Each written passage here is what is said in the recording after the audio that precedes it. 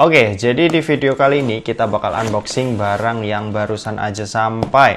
Dan yap, ini adalah Infinix Note 10 biasa ya, yang PO itu ya. Duh, PO lagi, PO lagi.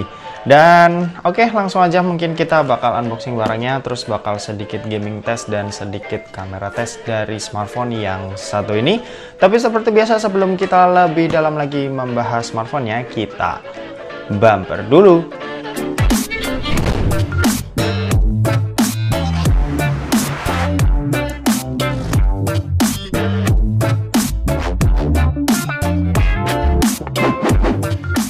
Oke, okay, so guys balik lagi sama Kula Sore. Oke, okay, sebelum lanjut ke videonya, buat kalian yang doyan dengan konten-konten berbau teknologi atau gadget, kalian bisa pertimbangkan buat subscribe channel ini dan jangan lupa buat aktifin juga lonceng notifikasinya supaya kalian nggak ketinggalan berita-berita terupdate dari Kuliah Sore. Oke, okay, langsung aja ini barang yang diorder dari Shopee ya, yang PO 14 hari lebih ini akhirnya sampai juga dan langsung aja kita buka ini adalah Infinix Note 10 biasa ya. Kalau yang Note 10 Pro ini sebelumnya itu emang nggak PO jadi langsung dikirim sama kalau nggak salah waktu itu ordernya di Lazada ya. Kalau yang Note 10 biasa ini di Shopee dan harus PO ya lagi-lagi PO ini hal yang benar-benar menyebalkan ya terutama buat orang yang benar-benar lagi butuh HP pasti bakal kesel banget. Terus orang yang mau review contohnya kayak kita-kita ini reviewer yang emang nggak dapat privilege khusus dari Infinix tuh harus beli barangnya.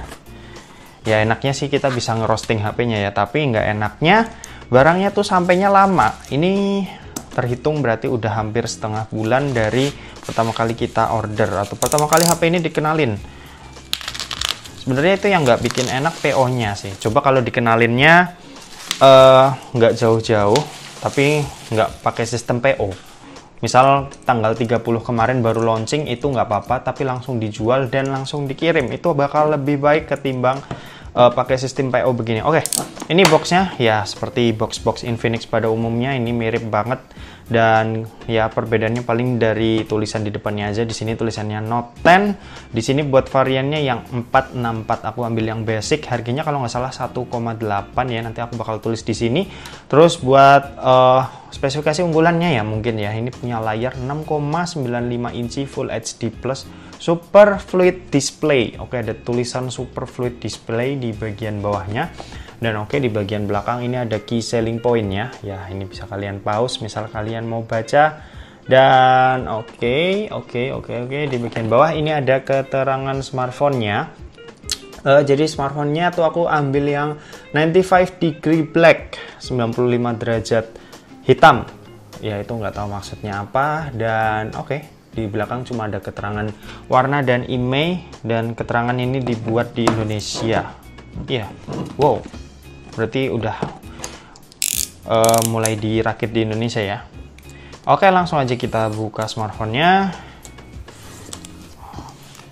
Gimana nih buat kalian yang order juga? Apakah barangnya udah sampai? Coba bisa kalian komen di deskripsi di bawah. Karena ya kita sama-sama kesel ya pasti ya karena pengirimannya ini benar-benar lama. Oke langsung aja kita buka. Oke. Yap, seperti biasa smartphone-nya ada di bagian depan, tapi ini kita pinggirin dulu dan di bagian bawahnya ada ya seperti biasa juga ini adalah oh, sebentar. Di bagian bawahnya ini seperti biasa eh, partisi-partisi uh, yang tidak tersusun rapi. Infinix. Ya kebiasaan mungkin uh, next smartphone mereka bisa ngerapihin bagian di dalamnya karena uh, bakal lebih bagus kalau Eh, partisi-partisi kayak gini tuh tersusun dengan rapi kayak smartphone-smartphone lain contohnya ada pembatasnya dan nggak langsung brak-duk kayak gini ya. Oke di sini ada uh, kepala charger yang outputnya kalau aku lihat di sini ada 18 watt. Oke di sini ada kabel uh, USB Type C. Ya ini kabel uh, USB A to USB Type C. Terus oke ini kita taruh sini dulu. Di sini ada SIM tray ejector Yap, terus ada buku petunjuk penggunaan. Di sini ada kartu garansi. Terus yang di bagian bawahnya Dollar X Club ya. Buat kalian yang mau join ke X Club silahkan. Tapi aku enggak deh.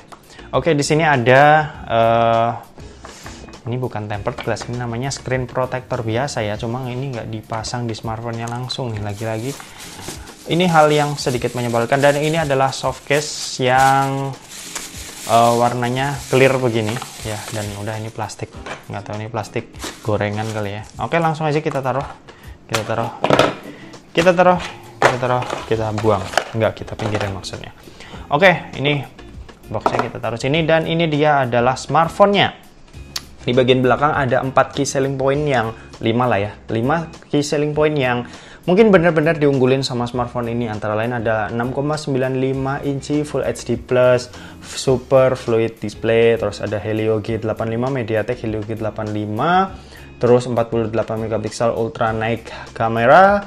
Di bagian depan ini ada 16 megapiksel AI Advanced Selfie Camera dan ada 18 watt X Charge Full Day Standby 5000 mAh baterai ya 5000 mAh. Oke langsung aja kita kletek. Kita kletek. Dan ini warna 95 derajatnya seperti ini ya. Ya ini hitam hitam biasa ini mah buat frame kameranya ya kalau misal kita bandingin sama yang Note 10 Pro ya bahasa desainnya sih mirip-mirip ya. Cuma ya agak berbeda sedikit. Ya ini bisa kalian lihat sendiri. Oke buat warnanya ini uh, hitamnya glossy buat sisi-sisinya sebelah kanan ini ada tombol volume dan tombol power. Di sebelah atas ini kosong nggak ada apa-apa. Sebelah kiri ini ada SIM tray ejector sebentar. Ini kita lihat dulu apakah uh, slotnya ini triple slot atau cuma hybrid kayak Poco M3 Pro kemarin. Karena sejujurnya uh, hybrid itu tidak menyenangkan ya. Dan ini yap. Ternyata triple slot jadi cukup bagus lah kita bisa menampung. Eh kok kita? Maksudnya smartphone ini tuh bisa menampung dua buah kartu nano SIM plus satu buah kartu micro SD tambahan. Sementara di bagian bawahnya ini ada lubang uh, jack audio 3,5 mm, lubang mikrofon, lubang USB-C, dan terakhir ada grill speaker yang jenisnya kalau aku lihat di contekan ini dual speaker. Wow, oke, okay, langsung aja kita nyalain smartphone-nya sambil kita mau setting-setting terlebih dahulu. Uh, dan mungkin kita bakal install satu game ya seperti biasa yaitu PUBG Mobile buat ngetes performa G85-nya kayak gimana. Oke, okay, kita balik lagi. Oke, jadi ini adalah tampilan awal dari Infinix Note 10 ya, Note 10 biasa. Dan buat wallpapernya sendiri, ini mirip banget sama yang Infinix Note 10 Pro yang sebelumnya udah pernah kita unboxing buat wallpaper awalnya ya. Dan buat uh, spesifikasi singkatnya kita bakal lihat di sini karena di settingannya ini Infinix udah nyediain juga. Jadi smartphone ini pakai chipset MediaTek Helio G85 dengan RAM yang ada di smartphone ini tuh RAM 4 GB dan internal 64 GB. Buat baterainya ini 5000 mAh dengan pengecasan uh, eh, 18 watt ya. Tadi kita udah lihat juga kepala chargernya. Terus buat resolusi layarnya sendiri ini Full HD Plus dengan luas layar 6,95 inci. Terus buat sistem operasinya ini udah pakai Android 11. Ini bisa kalian lihat yang di pojok kiri bawah dengan basis XOS ini uh, XOS versi 7.6 ya. Oke. Ini dia bisa kalian lihat. Oke, terus buat kamera belakang ini ada tiga kameranya 48 megapiksel buat kamera utama. Oke, nggak kelihatan ya. 48 megapiksel pada kamera utama, 2 megapiksel pada kamera depth dan 2 megapiksel kamera monokromnya.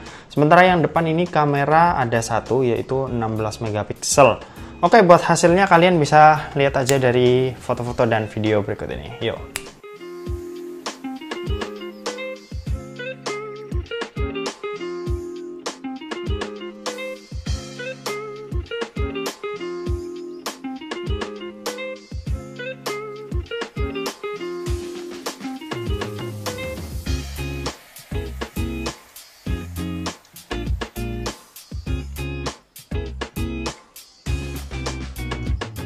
Oke, tadi kalian udah lihat buat hasil foto-foto dan videonya kayak gimana. Yang selanjutnya kita mau langsung aja buat ngetes sedikit performa dari MediaTek Helio G85 yang ada di smartphone ini dan langsung aja di sini aku udah nyiapin salah satu game yang seperti biasa jadi uh, game andalan ya buat ngetes performa HP yaitu adalah game PUBG Mobile dan langsung aja kita mulai gamenya.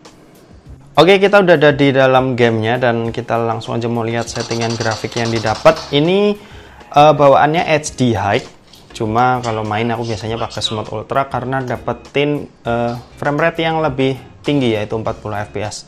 Dan oke okay, buat gyroscope di sini Oke, okay, sebentar.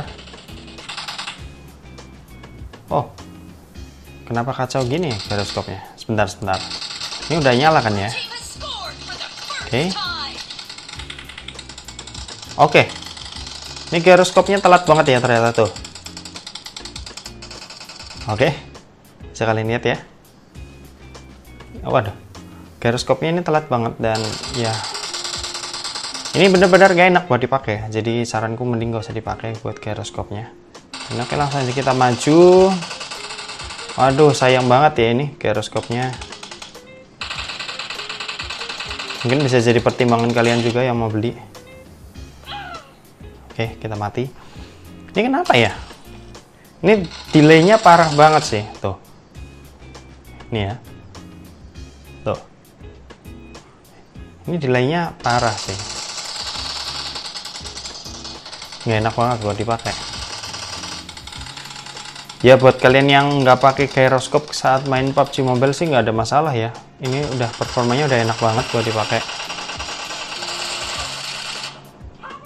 Oke. Okay. Uh, eh, Oke, coba kita maju.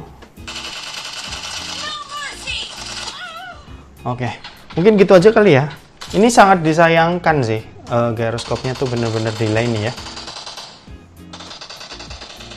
Waduh, yaudah mungkin gitu aja. Next kita mungkin bakal lanjutin di video reviewnya kayak gimana dan oke, okay, mungkin gitu aja buat video kali ini. Terima kasih buat yang udah nonton video ini. Jangan lupa buat like, komen, dan share juga ke teman-teman kalian. Supaya teman-teman kalian mendapatkan informasi yang bermanfaat dari kuliah sore. Oke, terima kasih yang udah nonton video ini sampai habis dan sampai jumpa di kuliah selanjutnya. Bye-bye.